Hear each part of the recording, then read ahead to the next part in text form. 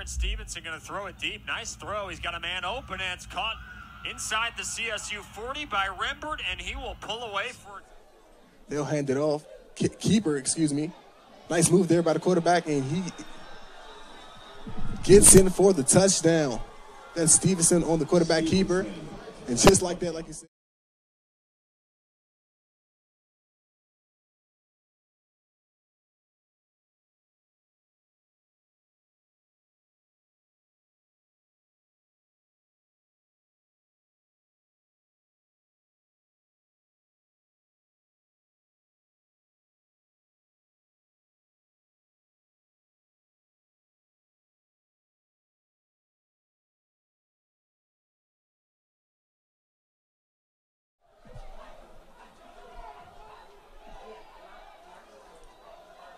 Like is bringing pressure, but drop back into coverage. And what looks to be good coverage. Lynchburg Dragons.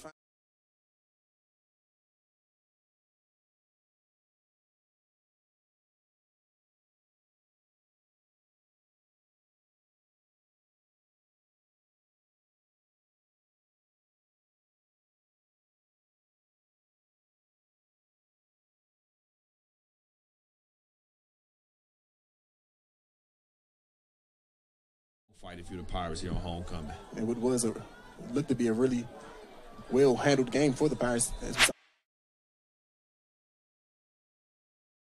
He can move. Yeah, I mean, I'm sure it's very slippery. Um, you know when he's running the ball, but good job of him by stepping up, seeing nothing's really there, um, and, and making something out of nothing, really. So Stevenson.